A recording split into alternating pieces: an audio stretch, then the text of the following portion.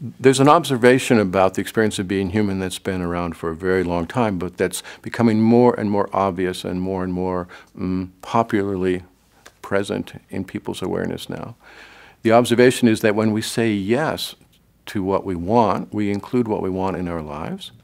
And when we say no to what we don't want, then we include what we don't want in our lives. Right?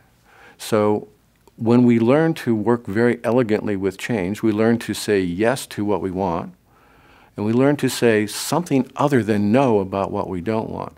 And what it turns out to be is we learn to say yes to what we want so that the momentum of crea our creativity, our spirit carries us forward. And then we learn to say okay to what we don't want. Now, saying okay is an art form. Saying okay actually takes a lot of practice and learning. People catch it immediately, they catch on very quickly in our course.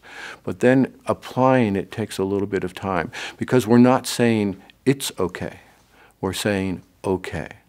So, about our previous condition of limitation or the pain that we've been in so far in our lives, we don't say it's okay we don't blow it off. We don't ignore it. We don't disrespect it like that. But we learn to say, okay.